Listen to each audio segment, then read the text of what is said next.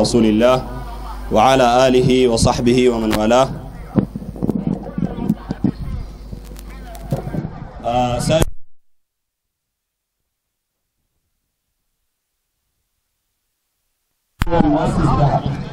هذه العقيدة تقول أن الإنسان مكون من جسم أرضي وقد نزل الله إليه الشرائع. فيعبد الله إلى أن يصل إلى درجة يتحد فيها ناسوت ناسوته بلاهوت الله. طبعا الصوفية عندهم مصطلحات براه يسموا رب العالمين اللاهوت.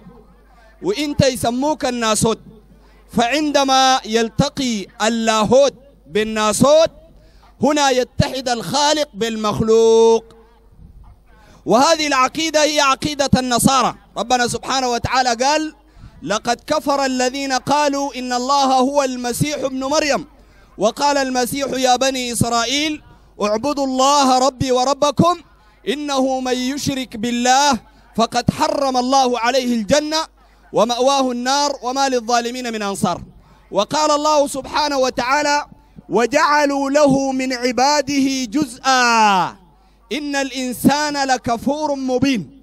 فكونك تقول إنه العبد من العباد يعبد الله سبحانه وتعالى لغاية ما يحصل لدرجة الخالق أو أن المخلوق يتحد معه ده يا أخواننا من الكفر الذي لم يقله إلا النصارى واليهود وقالوا الصوفية كالحلاج.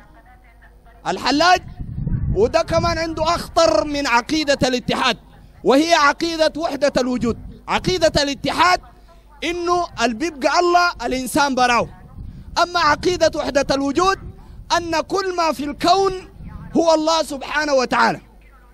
عشان كده الحلاج في مقتله كما ذكر ابن كثير في البداية والنهاية وهو من أئمة الشافعية. وده إنسان معتبر. فهمت؟ ابن كثير جاء في ترجمة الحسين بن منصور إنه قال بهذه العقيدة عقيدة وحدة الوجود.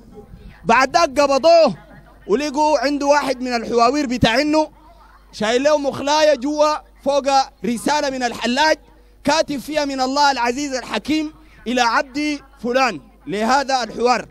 قال فقبض عليه الشرط الشرطة قبضوا عليه وقاموا ودوه للسلطان.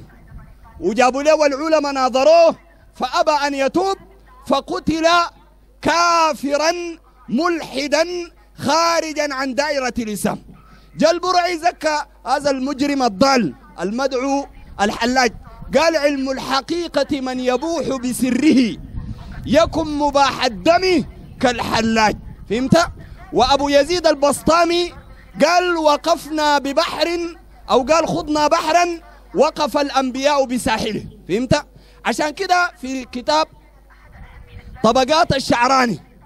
قال الشيخ رضي الله عنه حسب ما قال يعني. فهمت؟ قال دخل الخلوة الأربعينية. قعد أربعين يوم ومعاه القرط وملص عريان زي ما الله خلقه وصلى ركعتين. انت ما عارف النظام بتاع بتاع ولي كيف عند الصوفية؟ تقعد معاهم وي- ويأتمنوك على باطلهم. بعد شيء بقول لك دارين نبقيك ولي أبقى ولي كيف؟ يقول لك تخش الخلوة. خلوة تكون بعيدة مثلا من الحاج يوسف تكون بغادي للخيم البغادي ديك. فهمت؟ تعويضات وبغادي تكون بعيدة. وتقعد براك في الخلا. فهمت؟ و- وال- والخلوة تكون مقفلة. ويجيبوا لك نص كيلة قرض 40 41 يوم 11 يوم 31 يوم إلى اخر فهمت؟ تقدر تنقلب. ها زباد التسي تسي قاعد لك 41 يوم. المهم بتقعد جوا أول ما تخش بتمرك هدومك كلها. فهمت؟ وبتصلي ركعتين زي ما الله خلقك. زي ما أمك ولدتك تصلي ركعتين. من هنا أنت كفرت بالله. بعد ذاك يقول لك بيديك حاجات وخواتيم إلى اخره قال الشيخ لما مرق من الخلوة في طبقات الشعراني قال نظر إلى كلب النظره قال لما نظر إلى الكلب هذا الولي هذا الكلب صار من أولياء الله. والله جد كتاب طبقات الشعراني. فهمت؟ قال قال فصارت جميع الكلاب منقادة لذلك الكلب. عملوا الطريقة الكلابية. الطريقة بتاعت آه، جرقاس فهمت؟ كل الكلاب بقت تباري الكلب ده. قال حتى أن هذا الكلب لما مات ألهم الله بعض الصالحين أو بعض الميسورين أن يبني له ضريحا. بنى ضريح للكلب؟ يا ناس ونحن القبة القبة دي إننا معها مشاكل. تجي تعمل لنا ضريح لكلب قال عمل الضريح للكلب فكانت تلك الكلاب تأتي وتطوف بقبة الكلب الجرقوسي فهمت؟ دي كرامة ودي بسموها لك الصوفية الشطح. وهذا الكلام يؤصله محمد المنتصر الإزارق في قناة أم درمان وقناة النيل الأزرق وغيرها من قنوات البدعة والضلالة التي تضل أمة الإسلام. وديل النوعيات ديل قال عنهم شيخ الإسلام ابن تيمية طائفة الاتحادية والكلام عام في جميع أهل البدع.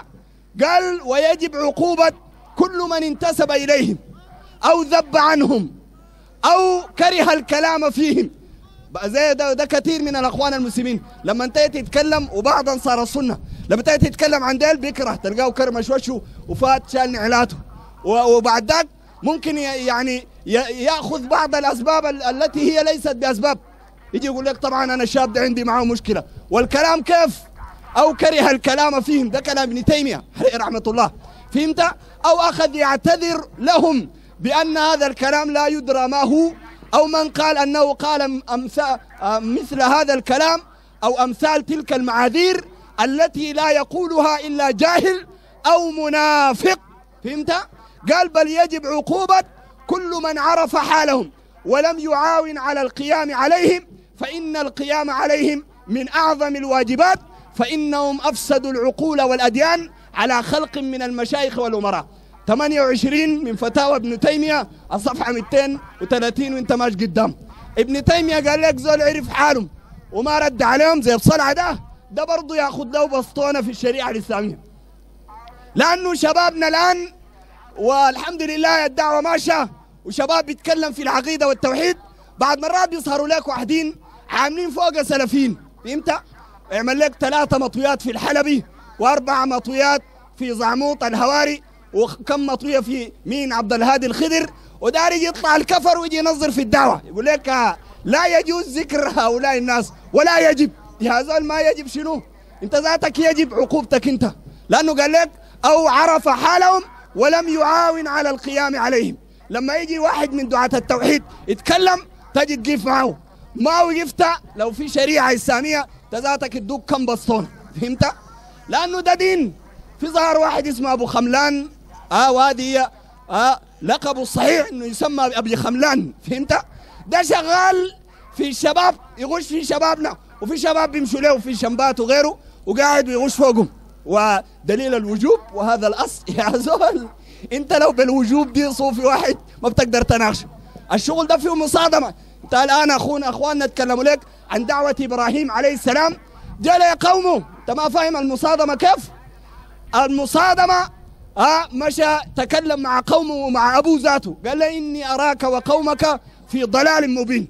أبو خملان يجي يقول لك لا ما تتكلم ما تقول له ضال كده قدامه للصوفي. بتجرحه. أجرح بسرعة وده أنا لو جرحت دم بكب انت أنا لو لقيت طريقة أفلقه ذاته تقول لي ما تجرحه ما تقول لي ضال قدامه؟ يا زول انت بتلعب علينا. ولذلك الناس تنتبه. شفت الدلال ده؟ الدلال ده داير الضرب بأدلة. صح إحنا بنقول لك انت تقيم قدامك. ما في أي كلام. آه لكل مقام مقال. لكن لازم يكون عندك السلاح من الآيات والأحاديث التي تكون على فهم السلف الصالح. الجبخانة دي لو معاك تاني ما تلاوز من زول. أضرب طوالي وأضرب في المليان. فهمت؟ أو عايز يصبطك واحد لما تقول ودي خلوها. يا زول أنا دار أنزل منقى تمام في مخك. أكشف طوالي أي عاطل. وزول شغال في التلفزيون. ان إحنا لو قادرين نتكلم في راس أي ساعة بنتكلم. لو ربنا ادانا قنوات بنتكلم ده ربنا وفقنا له. تجي تلعب علينا أنت. فأوعك تمشي. ودي تحذير لأخواننا. أوعك أي زول مسك المايك تمشي. دار تسمع له طوالي يقول لك في درس في شمبات ودرس في وين؟ ما تمشي ساكت أنت. خليك زول فاهم. السلف قالوا إن هذا الأمر دين فانظروا عمن تاخذونه دينكم. طيب فده المؤسس بتاع هذه العقيدة. قال لدي قريب لي موهوم بأن معه زعر فطلب فطلب فطلب فطلب مطالب ولب ولبتها له والدتي. وعندما قلت له أن هذا باطل وقالوا أن أن أن هذا اللباس ها؟ يعني لباس الزار. الذي يلبس للزار هو لباس عادي يساعد في العلاج ولا يتعلق بالمعتقد. ما رأي الدين في ذلك. يا إخواننا ده الزار هو سحر بالله يكون فيه الكفر بالله سبحانه وتعالى. أصله الزار ده بيقول لك ديل أولاد ماما. ماما منو؟ ماما لبستني الجزمة والشراب. اذا أنت مهم في مخك؟ ديل بيجيبوا لك الشياطين يستدعون الجن والشياطين. بيقوم بيقول لك جيب ديك أحمر. ها أو جيب ديك يكون يعني عنده ركشه المين بيجيب لك شروط تعجيزية. إنت تجيب له وديك يقوم يذبحوا باسم الجان بتاعه. جانه اسمه شمهروش اسمه حميدة. المين بيذبحوا للجان بتاعه. فهمت؟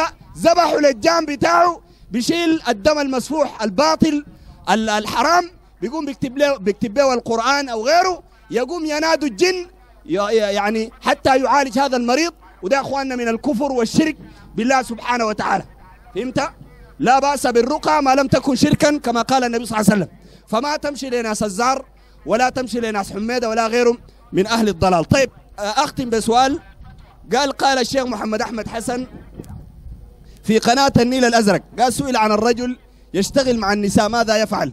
فأجاب قال عندما تكون معاهم شغل النور القصير وما تشغل النور الطويل. يا زول أنا سايق لي جنبه يا اخ أنت ما هو في مخك. ها؟ إنت تقول للناس أديهم الأدلة عادي شنو شغل نور وما شغل نور فهمت؟ يا أخي دي أحكام شرعية.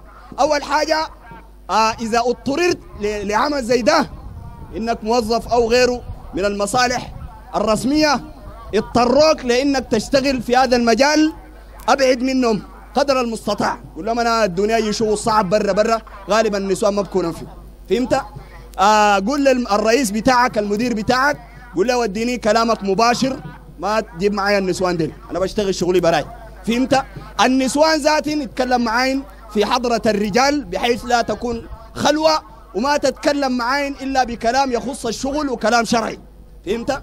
كلام يكون شرعي من غير خلوة تتكلم معاين. لكن تلقى الجماعة موظفين إلا من رحم الله. مما جو في المكتب النسوان وال وال وال والرجال. تلقاهم كلهم بيتغلطوا في مازيمبي غلبناكم ما غلب. بعد بعد يتكلموا عملتوا ويكا وبكرة.